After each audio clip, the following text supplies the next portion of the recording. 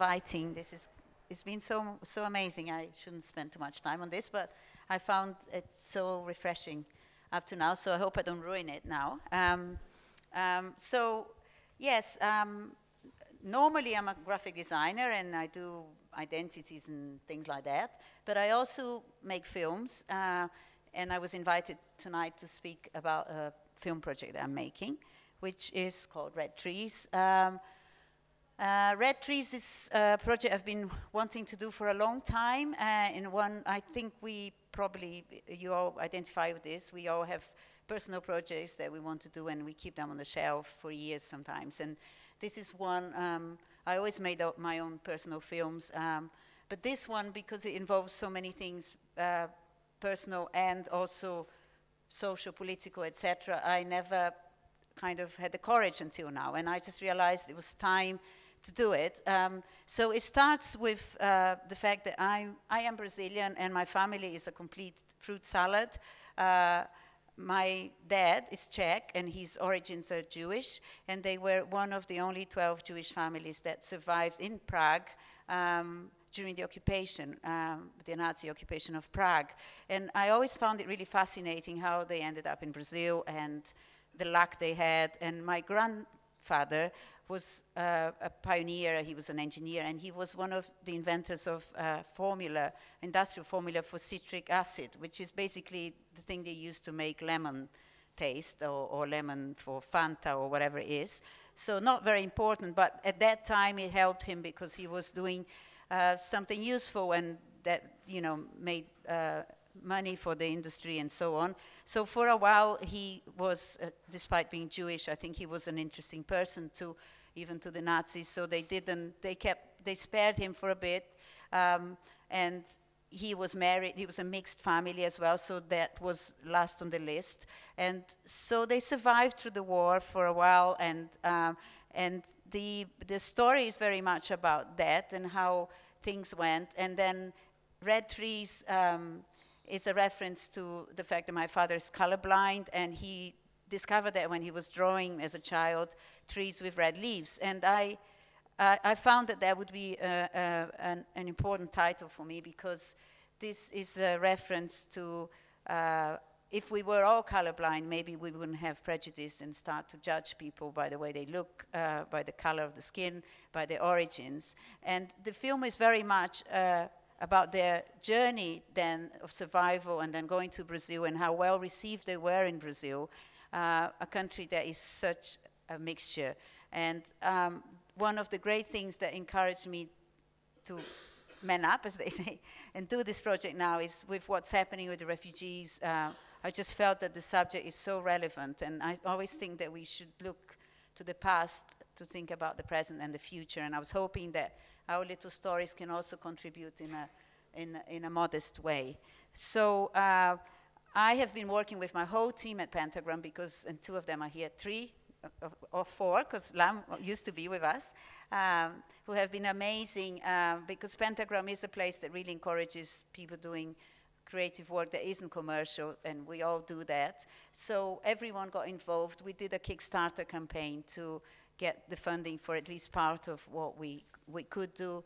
Um, I invited the cinematographer of City of God, uh, which is uh, uh, someone who I worked with before, because I wanted to do something that was broader than the films that I normally make, which is very arty and for very few people because of the message.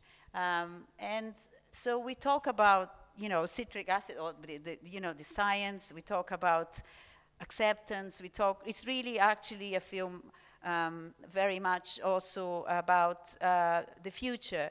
And uh, we went to Czech Republic and we filmed a lot of uh, abandoned factories because that in a way represents a period of uh, a, a, country that used to be an example for Europe that was the utopia of democracy and all of that and was let down and was invaded and we all know what happened like to many parts of Europe and the tragedies. But in a way that uh, the imagery that we collected there represents to us this interruption of a future, uh, not just for the Jewish people, but for a, a whole economy and a, a, part of the world and, and so many other countries. And then ch changing to the journey towards Brazil and uh, color and you know diversity.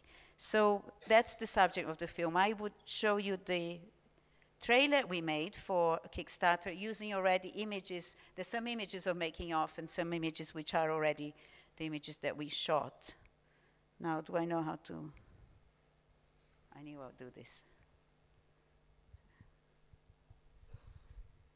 I have never understood an attachment to one nation, one culture, one origin.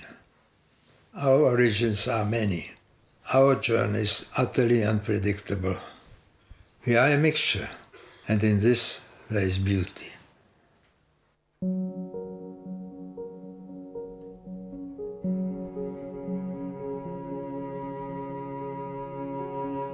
For so many years, I wanted to tell the story of my father and his father and how they ended up in Brazil. Red Trees is the story of my father's family and how his father, one of the inventors of the citric acid formula, managed to survive the Nazi occupation of Prague during the war. In a time when so many people were having to be dislocated and refugees having to go to so many different countries. I hope this film can bring some hope and light. The story is based on my father's memories, beautifully told through the voice of the actor Tim Pigott Smith. We tell the story of the journey from the hard years in Czechoslovakia through moving towards Brazil living in Brazil, discovering color, diversity, and light. My father is a child. Other children in the neighborhood throw stones at him and call him Jew. In the face of stones, he walks to school. He studies. He grows. My father discovered architecture in Prague and became an architect in Brazil. We tell the story through architecture as if looking through his eyes. The title Red Trees makes reference to the moment when my father discovered that he was colorblind. When drawing trees as a child, he filled them with red leaves. This is also a reference to a world where people would be much more accepting of each other's diversity, and that would be a much more beautiful world in my view. I invited Cesar Charlone, the cinematographer of City of God, Constant Gardener to be part of this project. It's not just an arts film, but a very fundamental message that I would love to reach as many hearts as possible. He has the experience to tell narratives in that way. It was incredibly tough to go to concentration camp where my great grandmother died. It was very tough to go to the synagogue where all those names are written on the wall of all the victims of the Nazi concentration camp. It was devastating. But I want to make this film a really positive, uplifting film. I see the world with a lot of color, and I hope that this film can also bring a lot of color to the world. It's a film of hope, for sure.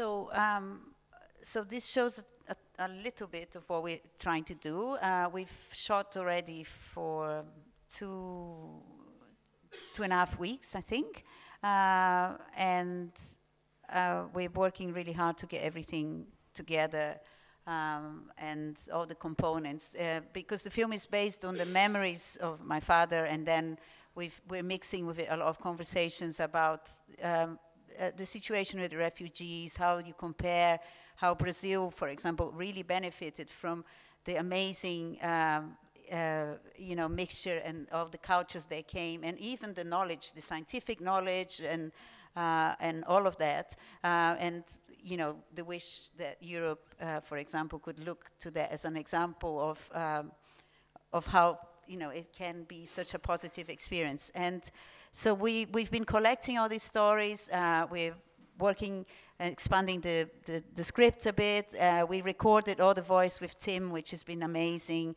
We're again recording pieces with my father. He does the most sort of personal moments.